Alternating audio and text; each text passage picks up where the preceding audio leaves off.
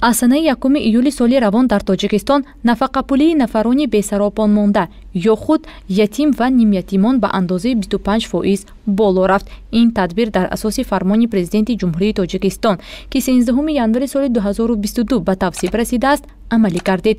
Бинобар маълумоти масъулини раёсати агентии суғуртаи иҷтимоӣ ва нафақа дар вилояти суғд фармони мазкур барои дастгирии қишри осебпазири ҷомеа равона гардидааст. Андозаи он нафақагирони нафақаҳои аз бинобар маҳрум шудан аз саробон яъне ки ятим ва нимятим ки то санаи якуми сентябри соли 2021 таъин шудааст мавриди афзоишёбӣ қарор дода мешавад ва дар заминаи фармони мазкур андозаи яъне ки зиёдшавии нафақапулӣ ва 25 фоизи андозаи нафақаи заминавӣ. Яъне ки баробар карда мешавад. Яъне ки 51 сомону 75 дирама ҳамин нишондиҳанда ташкил мекунад.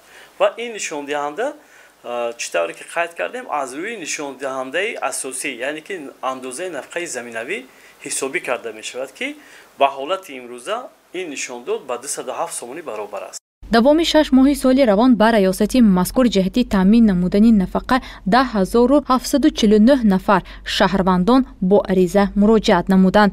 Аз шумораи умумии муроҷиаткунандагон ба 10640 нафар нафақаҳои гуногун таъин гардид. Аризаи 139 нафари дигар бошад бинобар номукаммалии ҳуҷҷатҳо рад гардидааст. Аз ҷониби э, сохторҳои маҳаллӣ э, нафақаи суғуртавӣ таъин карда шудааст ба 7387 нафар.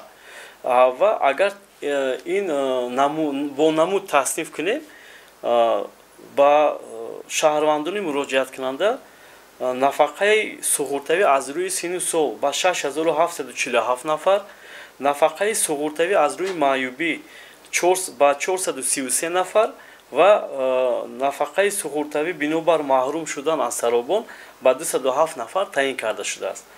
Ҳамзамон ба шаҳрвандоне ки вобаста ба таъминоти нафақаи иҷтимоӣ ё худ давлатӣ муроҷиат карданд аз рӯи сину сол ба 1376 нафар аз рӯи маъюбӣ ба 1435 нафар ва бинобар маҳрум шудан аз саробон ба 442 нафар нафақа таъин карда шудааст.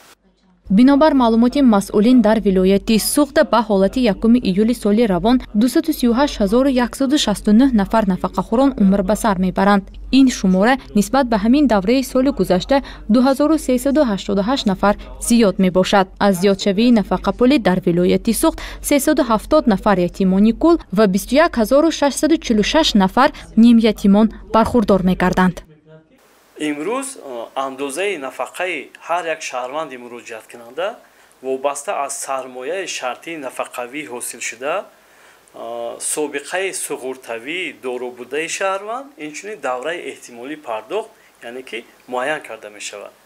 Ва доир ба андозаи ҳамон нафақапулӣ барои маъюбон чӣ тавре ки қайд кардед?